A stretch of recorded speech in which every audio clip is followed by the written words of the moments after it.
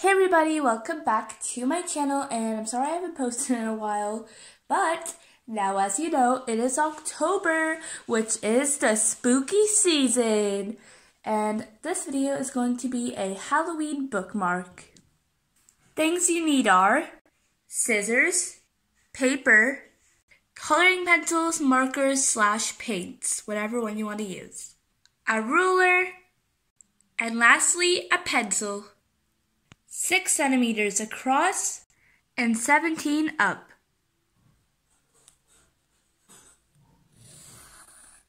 Oh my god, I messed up. Alright, I fixed the mistake and here it is.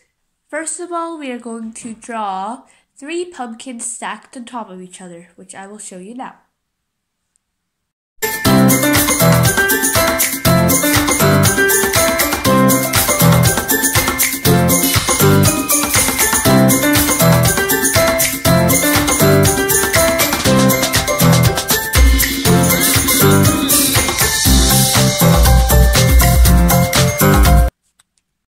We are now going to draw a bat like on top of the pumpkins. I'll show you what I mean right now. Here's the bat. What do you guys think of it?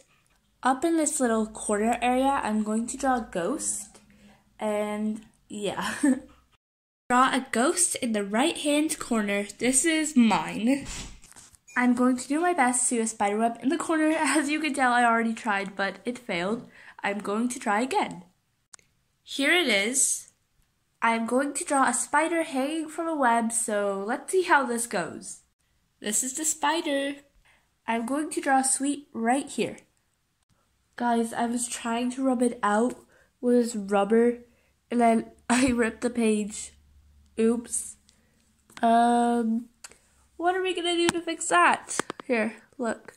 There's still gonna be a hole even if I glue it. Um, what do I do now? I think I'm going to redraw the whole thing, but it'll still look the same.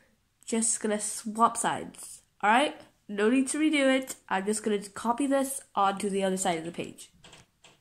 I have redone it on the other side, but this time I'm not gonna do the candy. But let's color it in.